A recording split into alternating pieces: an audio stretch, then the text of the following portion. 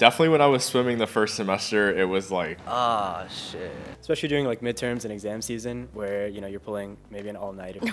Oh. I know there's like many programmers that sleep very last each night. I try to make that consistent. But that's like temporary until I figure out life a bit more. Like this last week, I've been sleeping like three hours.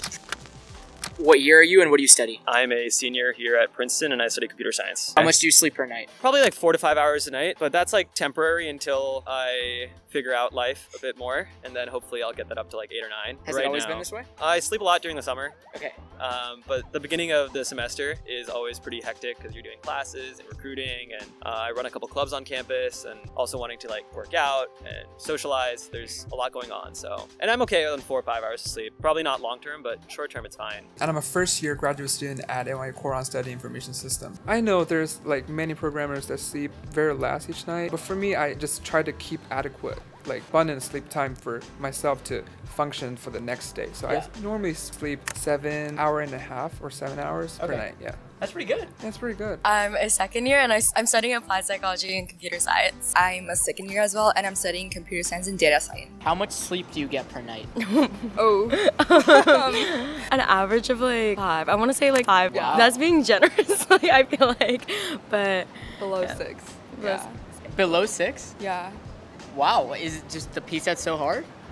it's like, It's not only CS, mm-hmm. but like a lot of yeah. other stuff. For me, like coming into like college and then starting like computer science, I have like a completely like blank portfolio. Yeah. So like while I'm like catching up with classes and like I'm also doing a psych major, so it's like writing and like a bunch of like memorizing and then like and on the other end it's like a bunch of coding and then like at the same time like I'm trying to like recruit and like Yeah. like build my Yeah, portfolio. recruit. And I feel like I want to add like healthy habits like going to the gym and stuff like that. Sure. So it's like so you got to drop. I feel like you got to drop one to like make the others work. And also like a lot of extracurriculars, the clubs, and Mm-hmm. I'm working for a nonprofit outside of school, so that takes up a lot of time as well. I'm currently in the class of 2024, and I study operations features, which is similar to like applied math and statistics. How many hours of sleep do you get per night? I am happy to say that I get about seven to eight hours, and it's taken a little bit of effort, but I try to make that consistent, and boy, does it make me feel better. Has it been about the same all four years you've been here? Uh, definitely not the first one or two, but I've made a conscious effort to change that. What was it the first one or two?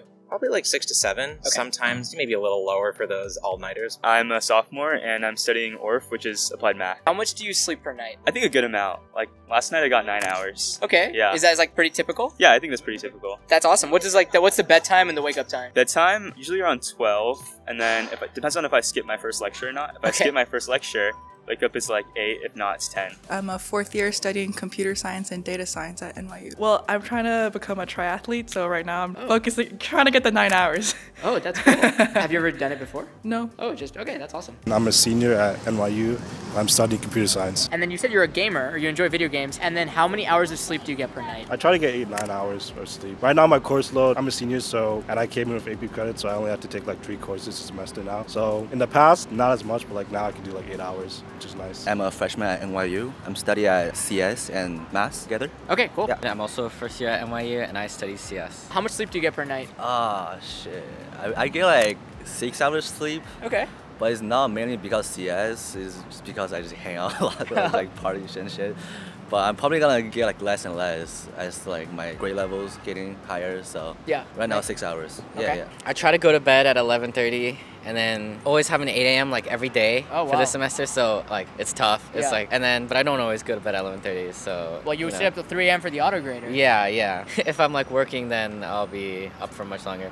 But I'll do my best to like sleep early. I try to get eight hours, but usually it's more like you know six-ish. If you're watching this, chances are you like to learn. So let me introduce today's sponsor, Skillshare, the largest online learning community for creatives. Now, you probably already know that Skillshare has a ton of classes on photography, animation, and creative writing. But did you know it also has a bunch of resources around personal lifestyle and productivity content? Whether you want to learn the basics of watercolor painting or learn how to start your own creative business, Skillshare has a class to take you from beginner to pro alongside a supportive community. And if you're looking to level up in your tech career or start a new side hustle, Skillshare has classes in freelancing, entrepreneurship, marketing, social media, and much more. My personal goal for 2024 is to get much better at illustration and graphic design so I can finally make these thumbnails pop. So I'm gonna check out the classes in Adobe Illustrator and Photoshop. Go check out Skillshare through my special link in the description, but hurry because the first 500 people will get a one month free trial. Now let's go talk to some more software engineers. I'm a third year uh, student at NYU and I'm studying computer science. Definitely when I was swimming the first semester, it was like six, five hours, but now I really do target for seven to eight.